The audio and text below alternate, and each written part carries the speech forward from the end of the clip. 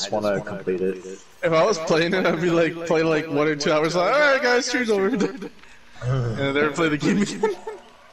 No, mine was four fucking hours. Hours Yeah. Where's my one. Outlast Part 2? God damn it. Uh, it'll come uh, in uh, 2035. Alright, I'm waiting. I'll Like Outlast 3 and 4.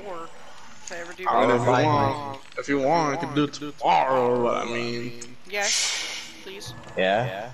I kind of need to download the game, and then I gotta like, you know, do it at a perfect time. You know, it's it's not always possible. That's how I was today. I was like, ah, it's 7 o'clock. I'm gonna start it now. Oh, you doing cakes? I got one cake. I have like 11, so. It's the sacrificial cakes, right? Yeah. Or is that an old one? No, because is it a slice of cake or is it a whole cake? The whole ass fucking cake. Alright, yeah, that's a new one. Two stacks. Oh, I thought you meant in real life because you talking about having coffee cake in your fridge. Whenever I see bitches with them cakes, Or Looking at that demon. guy, yeah, that demon. Whew, he got some cake. Demon witch dudes.